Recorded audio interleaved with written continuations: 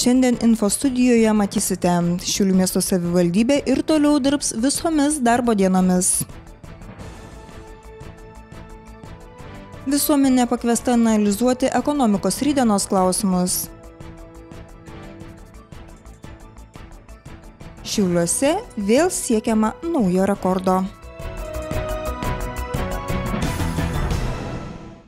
Labas vakaras, metas ketvirtadienio naujienoms. Dėkojame, kad esate kartu ir kviečiame žiūrėti. Šiulių miesto savivaldybė ir vėl dirbs pilnu tempu. Taupimo planas nepasiteisino. Savivaldybės atstovai sako, kad taupyti reikia, tačiau ne gyventojų aptarnavimo sąskaita. Šiaulių miesto savivaldybės taupimo planas nepasiteisino. Vieną savaitę miesto savivaldybė taikė taupimo režimą. Dirbo tris dienas kontaktiniu būdu, o dvi nuotoliu. Kitą savaitę savivaldybės darbuotojai dirbo įprastai, tad įvertinus abiejų savaičių sąnaudas buvo sutaupyti tik 214 eurų. Tiesa, teko daryti išlyginimą. Eksperimentas e, buvo e, e, tuo galbūt metodiškai netikslus ir teko daryti išlyginimą išlyginimą, išlyginamą įskaičiavimą, nes pirmosios savaitės temperatūra buvo 10,8, o antrosios 8,4. Tai žymiai buvo jau šaltesnė ta antroji savaitė, atrodo, kad čia 2 laipsniai, bet jeigu skaičiuoti procentinę išraišką, tai yra jau didelė paklaida ir teko, kaip sakyti, įvertinti tą pag, priimti tą šilumos, kilo, šilumos kilovatvalandžių sunaudojimą kaip objektyvų ir tokiu būdu ta ekonominė nauda nesigavo tokia, tokia didelė. Savivaldybės atstovai pasiteiravo energetikos ministerijos, ar reikia taikyti šias taupimo priemonės ir gavo atsakymą, kad taupyti reikia, bet nepažeidžiant gyventojų intereso. Visos plane nurodytos efektyvumo priemonės neturi mažinti institucijų gebėjimo atlikti nustatytas funkcijas ar pažeisti nustatytas hygienos normas. Tai va štai, va šitas sakinys, raktinis sakinys šitame uh, rašte ir vertė mums uh, įvertinti tą situaciją šiek tiek plačiau. Ne tik tai kaip yra pastatas viešasis kaip šitas su savo, sakykime, eksploatavimo išlaidomis, bet jo yra ir funkcija aptarnauti gyventojus. Ir matydami uh, šitą poziciją tokią išplėstinę poziciją negu tik tai vien taupimas ir ekonomika, mes irgi kritiškai vertinom visą šitą situaciją, nes net jeigu ir nedidelė visuomenės dalis negali gauti ir jų poreikiai negali būti tenkinami savivaldybės pastate, tai yra jau šito gyventojo interesų pažeidimas jau ir netgi, kaip sakyti, jau einant netgi ir konstitucinių teisių pažeidimas. Taigi savivaldybė ir toliau priims gyventojus kasdien, nes būtent tokia ir yra šios įstaigos funkcija. Mininčiulių priekybos pramonės ir amatų rūmų 30-ąjį veiklos jubiliejų surinkta konferencija Ekonomikos rydiena ar vis dar galime ją programuoti. Čia į diskusiją apie ateities perspektyvas pakviesti verslo atstovai, ekspertai, akademinė bendruomenė. Nuolat besikeičianti situacija tiek mūsų šalyje, tiek ir visame pasaulyje dažnai iš mūsų priverčia susimastyti apie ekonomikos rydieną. Nuo kokie ji bus po savaitės ar mėnesio šiandien, ko gero, atsakyti negali niekas. Todėl šiandien būtina analizuoti visus galimus scenarius bei rasti sprendimo būdus. Dėl šios priežasties verslo atstovai, akademinė bendruomenė, ekspertai bei įvairiausių sričių specialistai susirinko į tarptautinę mokslinę konferenciją, kurioje dalinosi savo išvalgomis temomis. Pagrindinė konferencijos tema, kaip ir matėt, ekonomikos rydina, ar vis dar galime ją programuoti. Dabartiniai laikai kelia labai daug klausimų ir iššūkių, kaip dirbti dabartiniam ekonominiam sąlygom. Ir konferencijos viena iš minčių buvo rasti galimybių, kaip bent trumpuoju laikotarpiu arba ir ilguoju laikotarpiu, vėliau pritaikant tam tikras priemonės, bandyti bent jau kažkuriam tai laikui programuoti ekonominius klausimus. Pasak Šiaulių priekybos pramonės ir amatų rūmų prezidento, kalbant apie ekonomikos rydieną, šiandien reikia suprasti, kad programavimas ilgam laikotarpiui nebėra tas procesas, kuris užtikrina rezultatą. Būtina į situaciją reaguoti čia ir dabar. Šiandien turim keisti savo supratimą, kad prognozavimas, programavimas mes kalbam apie trumpą laikotarpį, vieną trijų mėnesių. Ir tokiu principu visas verslas ir visa ekonomika turėtų perskaičiuoti savo rezultatus. Iki šiol mes buvome įpratę prognozuoti metų, dviejų, trijų metų laikotarpį, šiandien dieną šitos prognozijas nebeveikia ir metinį rezultatą sudaro keletą ciklų, ketvirčio, mėnesio ir atitinkamų trumpesnio laikotarpio prognozės. Tos priemonės, aišku, jos yra, jeigu trumpuoju laikotarpiu labai dažnai peržiūrėti, yra sudėtinga, pats biurokratinis tikriausiai procesas visas užtrunka ilgiau. Tai žinoma, yra strateginės kryptis, kurios yra nustatomos ir kurios turi būti taikomos, bet žinoma, įnomoju laikotarpiu visą laiką yra prisitaikoma prie situacijos ir kaip matome, kad tikrai vyriausybė pakankamai greitai prisitaiko ir pakeičia tam tikras priemonės, ypatingai COVID-19 laikotarpiu.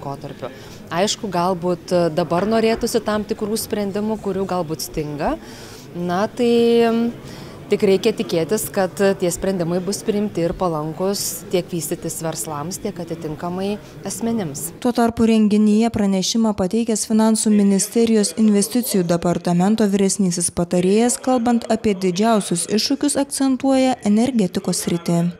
Na, naujos kartos Lietuva planas, kuriame numatyta daugiau negu 2 milijardai investicijų, tikrai gali padėti su tais iššūkiais kovoti, juos įspręsti na, ir užtikrinti, na, kaip ir kad mes, kad tų problemų ateityje nebūtų, su kuriamis mes susidarėme. Tai ypač energetikos srityje na, tikrai turime investuoti į atsinaujinančius energijos išteklius.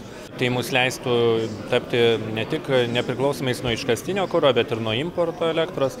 Tai tokiu būdu mes na, išspręstume ir tų e, energijos kainų sviravimo problemą. Konferencija užbaigė diskusiją, kurios metu buvo aiškinamasi ir apie tvarę Šiaulių regiono plėtrą. Šiulių technologijų mokymo centro priekybos ir verslo skyrius savo pasiekimais garsino Šiulius visoje Lietuvoje. Šiulių švenčiausiosios mergelės nekalto prasidėjimo bažnyčioje užfiksuotas dar vienas neįlinis pasiekimas. Šiandien Šiauliuose švenčiausios mergelės Marijos nekalto prasidėjimo bažnyčioje komisijai ir gausiai susirinkusiai tikinčiųjų bendruomeniai pristatytas neįlinis 30-asis technologijų mokymų centro priekybos ir verslo skyriaus pasiekimas. Kadangi labai sudėtingas išskirtinis pasiekimas ir pareikalavo ne tik tai dienos darbo, bet ir naktinio darbo reikėjo labai daug greičio, tai dienos metu vis tiek tą parafino gabaliukus reikėjo suskaldyti, tai mūsų pagrindiniai pagalbininkai buvo socialinių darbuotojų padėjėjų mokinukai. Bet e, visgi ugnis, nes reikėjo lydyti, labai daug saugos reikalavimų. Tai daugumoje čia mūsų mokytojai šį kartą prisidėjo, kolegos. Mūsų socialinis partneris, remėjas, e, nupirko, padovanojo pusę tonos parafino Ir kadangi adventinės žvakės turi būti keturios, tai trys yra šiek tiek mažesnės ir viena iš jų, na, ta tokia išskirtinė, pati didžiausia. Na, kalbant apie virvę, tą vadinamą knatą, tai to knato mes sunaudojome, nu, taip pat nemažai, 3 metrus 20. Tai vėlgi bus, ar tai tikrai taip, pasakys komisija.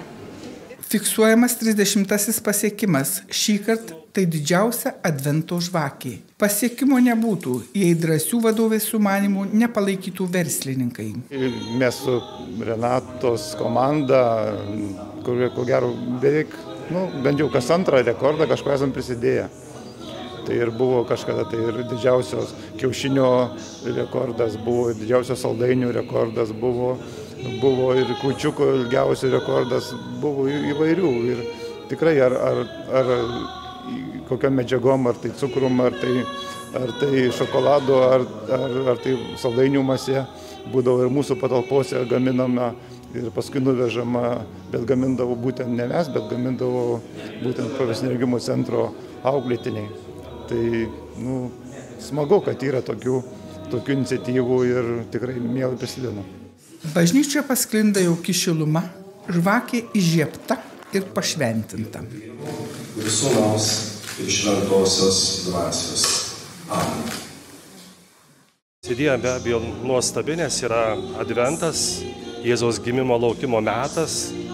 Atkreipiam dėmesį į mergelę Mariją ir visus įvykius, kuriuos dangus mums nušvietė. Tai yra šviesos laikotarpis, ir uždegti žvakę yra tikrai labai svarbu mūsų gyvenime. Mes turim daug momentų, šį kartą mes uždegam žvakę, bet einančiam į mūsų gyvenimus Kristui.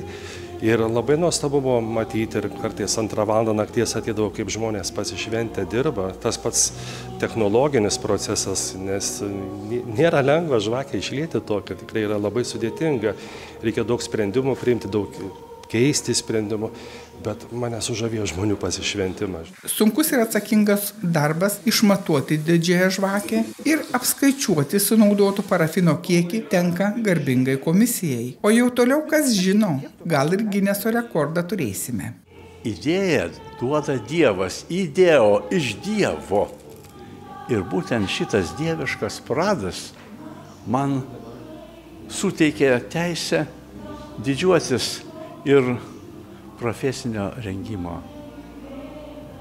mokykla ir mano lietuvėlė, kurioj spinduliuoja noras būti gyvai. Pasiekimas tvarus ir išskirtinis, nes didžiosios žvakės liepsneliai švies ne tik šiauliečiams. Pasibaigus adventui, iš likusio nesudegusio parafino bus gaminamos mažos žvakutės, kurios keliaus į Ukrainą ir savo šviesą džiugins subombarduotose miestuose be elektros likusius žmonės.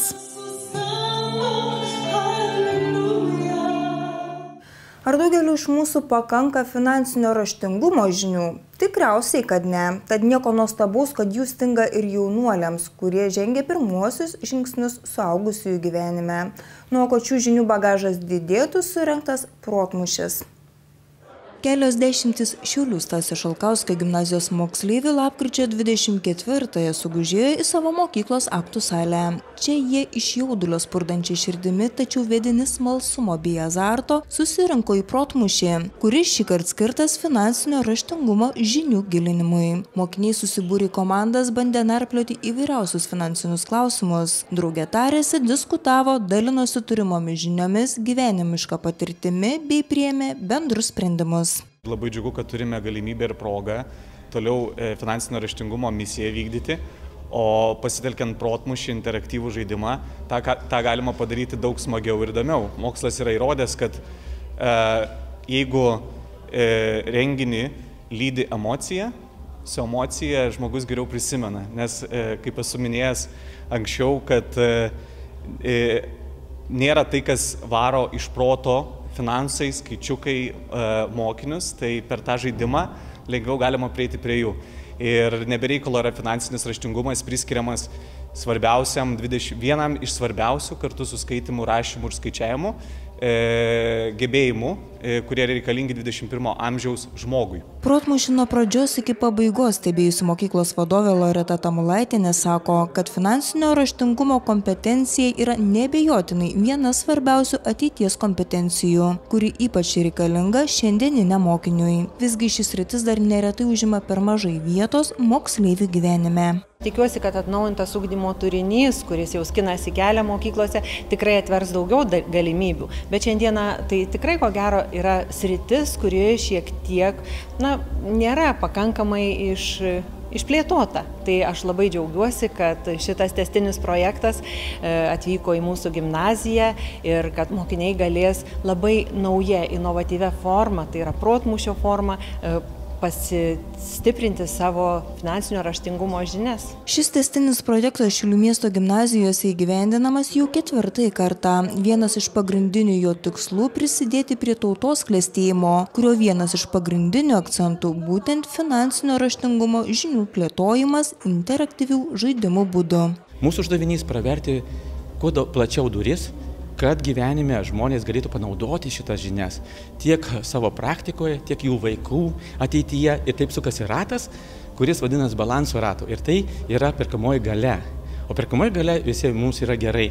Tuo akcentu ir linkiu visiems finansinio raštingumo žinių. Ačiū, kad esate kartu.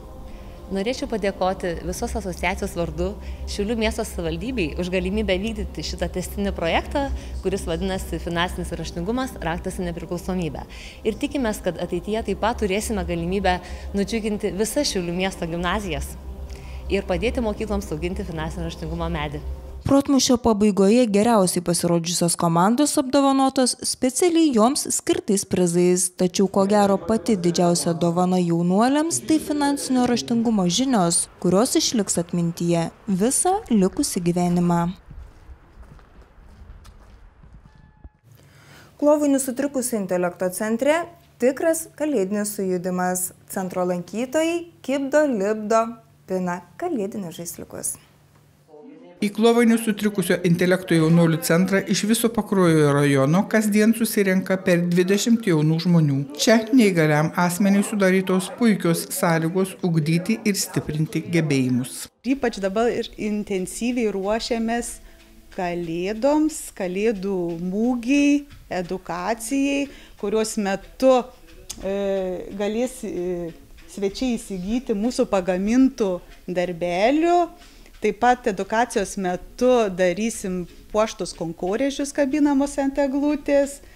Taip pat vad, berniukas velė eglutėj žaisliukus, paukščiukus Nepaprastai gabūs ir darbui atsidavę centro darbuotojai ne tik dirbti moko jaunuolius, bet ir galvoti saugoti gamtą, mylėti ir palaikyti artimą. Stengiamės viską daryti, kad nereikėtų išmesti kad būtų pritaikymas ir, ir kiekvienas gaminėlis kažkam tai yra skirtas ir krepšeliai ir saldainiam susidėti ir, ir kažkokiam tai oboliukam ar pagaliau ir grybam rinkti mažos, mažos visiškai dėželės smulkmenėlėm kažkokiam tai susidėti. Nu ir jeigu darom kažkokius tai paveiksliukus, tada jie puošia mūsų aplinką. Direktorė Aušra Butnorinė dėkoja darbuotojams už nepaprastą atsidavimą ir meilę darbui. Džiaugiasi naujais ir testiniais kartu įgyvendinamais projektais. Štai vasaros pabaigoje kieme pastatyta pavėsinė, dabar centro lankytojai dienas galės leisti griname ore. Dar nepilnai metus turime, šitą sensorinį kambarį ir jisai yra iš projekto su Lietuvos Latvijos, kuris vadinasi kartų įgalinimas. Ir e, būtent su seniorais šita veikla vyko, prasidėjo, ką mes darėme. Tai vat, labai džiaugiamės šito kambariu, todėl kad klientams yra be galo įdomu, jie labai atsipalaiduoja, nusiramina dalyvauja viso, visokiuose veikluose, kurias darbuotojas sugalvoja, tai dar šitam kambarį jie aktyviai muzikuoja. Vyksta koncertai, pasiruošimai renginiams, tai vat, labai džiaugiamės šito kambariu. Prieš porą metų vykdėme atokvėpio projektą, E, kurį buvome parašę, taigi labai irgi pasitvirtinęs dalykas ir dabar jau kaip ir testinis bus atokvėpio paslauga suaugusiems asmenėms čia įstaigoje. Jeigu tėvams yra poreikis išvažiuoti, jie gali visą dieną čia būti. Ir taip pat suaugusiems ir vaikams namuose atokvėpio paslauga, kurią va, kaip tik jau pradedam teikti. Turim mergaitę namuose neįgalę, kuriai bus teikiama šita paslauga. Tai va tiesiog tevam, kad būtų sudaryta jiems galimybė e, susitvarkyti savo reikalus, tiesiog pailsėti į parduotuvę, pas daktarus, tiesiog vat, būtent, kad jie atsikvėpt galėtų. Socialinio darbuotojo paslauga mokama, kaina apskaičiuojama priklausomai nuo šeimos pajamų. Jau trečius metus pakruoje vykdoma apsaugoto būsto paslauga. Šiuo metu savarankiškam gyvenimui su minimalia pagalba ruošiasi keturi gyventojai. Šią paslaugą yra siekiama tiesiog e, ugdyti, plėtoti ir atkurti asmens socialinius bei savarankiško gyvenimo įgūdžius, padedant, padedant darbuotojui, arba kitaip tariant, yra sudaromos visos galimybės asmeniui savarankiškai tvarkyti savo asmeninį ir socialinį gyvenimą su minimalia darbuotojo pagalba. Turime užsibrėžę savo tikslus, pasiekėme tam tikrą savarankiškumo lygį ir kiekvienas, dažniausiai kiekvienas asmuo toliau eina gyventi savarankiškai, gaudamas socialinį būstą. Ir kiek dabar jau tokių žmonių, na, išleidote gyvenimą? E, šiai dienai paslaugą pakroje mieste teikiame keturiems asmenims, tai du asmenys jau išleidome gyventi visiškai savarankiškai. Toliau orų prognozė, na, o mes pasimatysime rytoj tuo pačiu metu. Gerą vakarą.